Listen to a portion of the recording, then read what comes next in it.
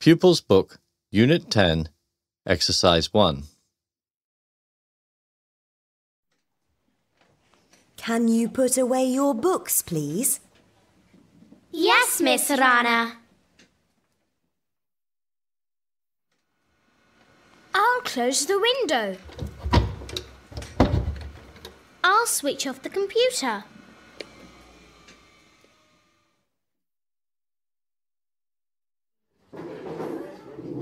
What are you going to do this afternoon, Omar? I'm going to do my homework. Then I'm going to play football. What are you going to do this afternoon, Layla? I'm going to make a cake for my grandparents. I'll help you.